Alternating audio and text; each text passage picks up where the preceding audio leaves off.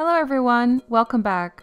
In the previous video, we learned how to make a cardboard loom and dress it with warp. In this video, I will show you how to prep a loom for weaving and some basic weaving techniques.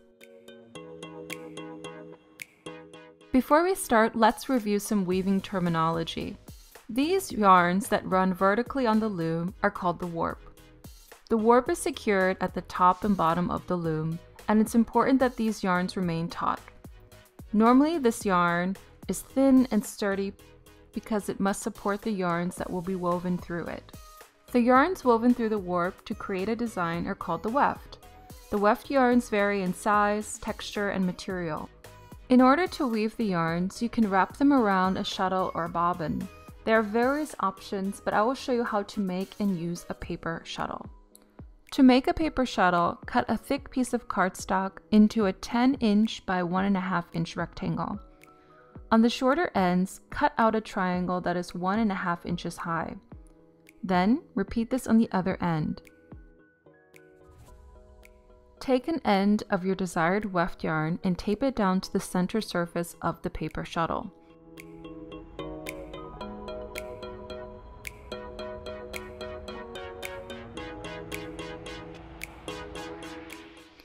Be sure to secure the tip well. This will keep the paper shuttle from being entangled in the warp as you weave.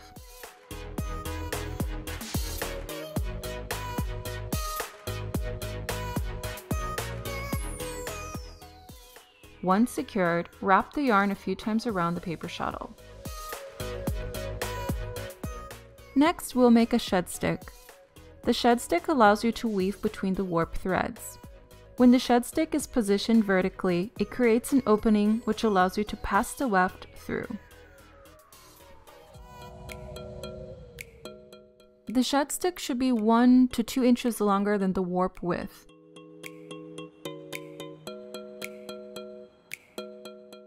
The shed stick should be sturdy enough to stand the pressure of the yarns. You can use a thin piece of wood or a thin ruler. Here I'm using a thin piece of sturdy cardboard. This is not the best option for the long run because it can break, but it does work as an alternative when you don't have a ruler or a piece of wood around. The first thing we must weave is the shed stick. First, go under the first yarn, then over the next. Repeat this until you get to the end. Be sure not to miss a strand, and if you do miss one, go back and start over at that point. Now you can move the shed stick up and down through the warp yarns. Here you can see the over-under method applied from the right to the left side of the loom. This next part is optional, however, I always use spacers before weaving my design. You can prepare the spacer for weaving by folding it once horizontally and then again. Move the shed sticks towards the top of the loom and now an opening has been created for the tissue to be pulled through. Once the spacer is secured between the warp yarns, use the shed stick to push it down and secure it towards the base of the loom. When finished, slide the shed stick toward the top of the loom. In order to add the next tissue, you're going to need one more piece of sturdy cardboard. This time you will start by weaving over the first yarn and under the second yarn. Continue this pattern until you get to the end of your warp.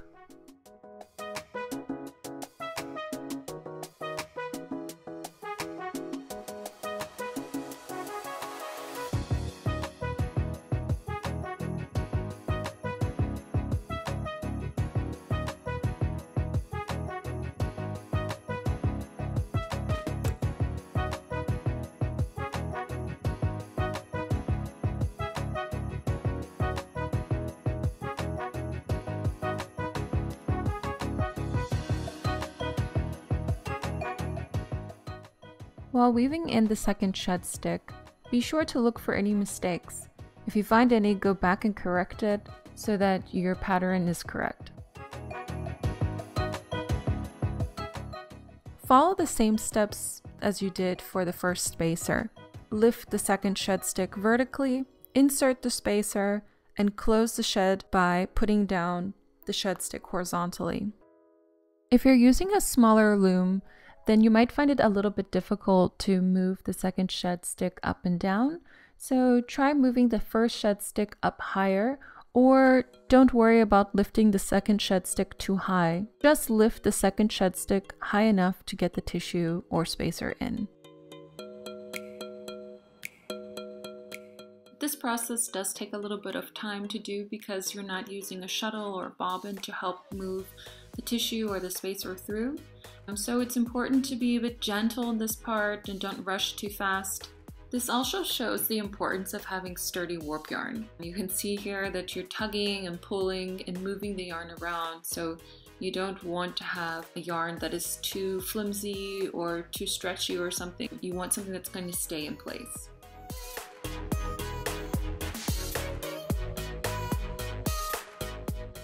As you push down the tissue with your spacer, you want to make sure that you are adjusting your yarns and making sure that they're straight.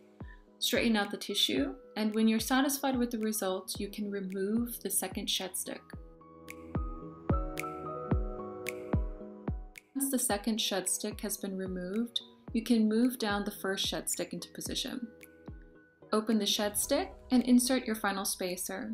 When you're done, close it by moving the shed stick horizontally and move the final spacer down. Again, always check your pattern. Make sure that you are following the correct under-over method so that your spacers will stay secured. For me, three spacers are enough for straightening out the warp. So I'm going to remove this shed stick and re-weave it into the warp. Remember to follow the weave pattern. If the previous row was under over, then this section you will use the over under method. If your previous method was with the over-under method, then weave the shed stick with the under-over method.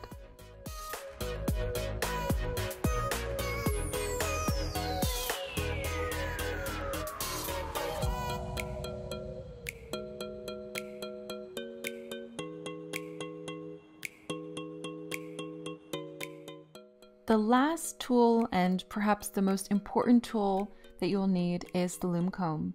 There are many names for this a comb, beater, fork, but they're all used for the same reason to secure the placement of the weft and to adjust the density of the yarns.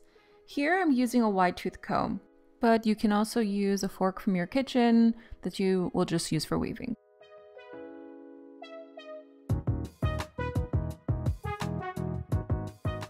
You can begin weaving by placing the shed stick in a vertical position. With the other hand, pull the shuttle through the warp yarns. A few inches of yarn should remain on the other end. After weaving each row of weft yarn, be sure to secure the yarn with a loom comb.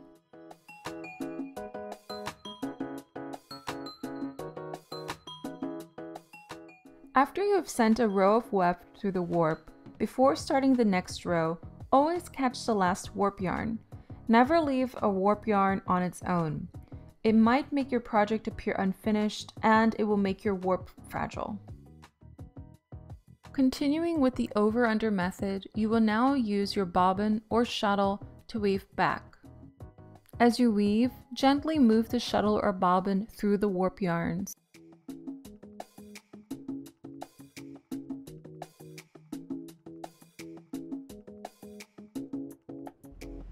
As you continue weaving, you will alternate between using the shed stick or your shuttle to help weave between the yarns.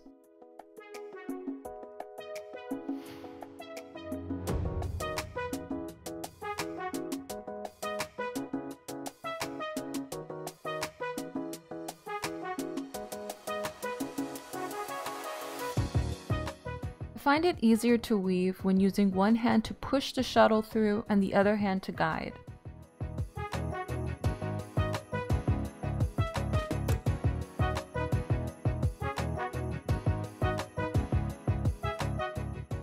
Once you've sent the yarn through, with your left hand, pinch the yarn on the corner, and with your right hand, pull the excess or extra yarn through.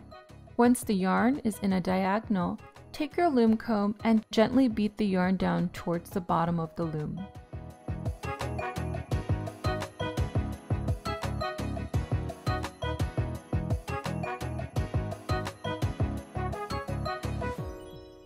As you secure the weft yarns with the loom comb, always be sure to check the edges.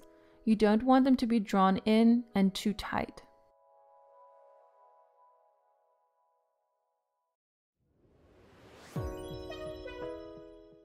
Every other row of weaving is a bit easier because you'll have the help of the shed stick. Again, be sure to catch the last warp yarn on the edge. Once the shed is open, you can insert your shuttle and pull the yarn through.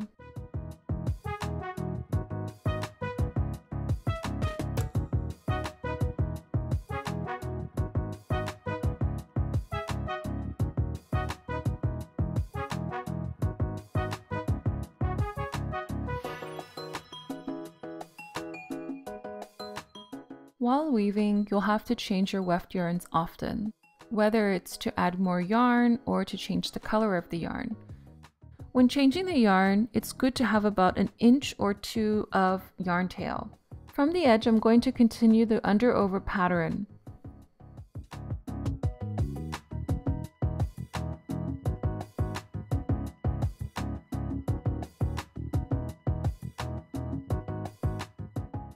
After a few yarns, I'm going to insert the old yarn behind the piece.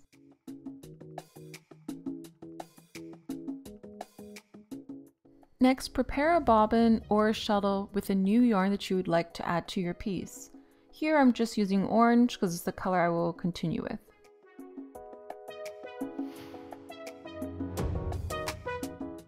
To continue the under over pattern, I'm going to add the new yarn next to the old yarn. I inserted the new yarn's yarn tail behind the piece as well, and now I will continue the pattern.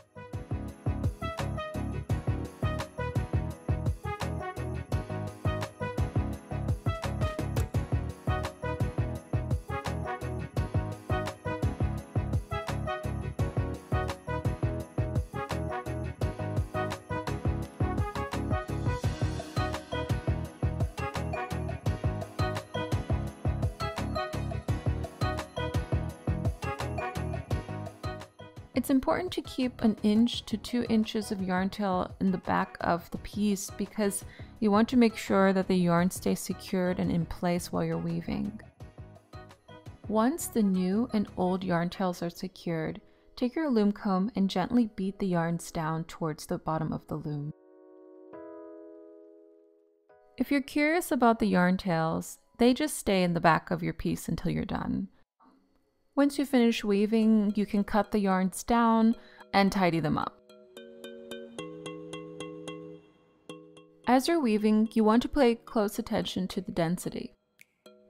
Density is controlled by the thickness of your yarns, but also by how hard you're beating the yarns down.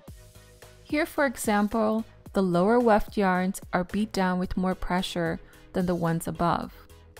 The ones above are lightly pressed down and more of the warp yarns are exposed. By manipulating how much pressure you use on the project can affect and create beautiful designs. Those were my tips for prepping your loom for weaving and some basic weaving instructions. I hope that this video was helpful for anyone starting to weave. If you have any questions about weaving or looms, please leave me a comment below. You can also find more information about weaving on my site at www.fibersanddesign.com. Thank you for watching and see you next time.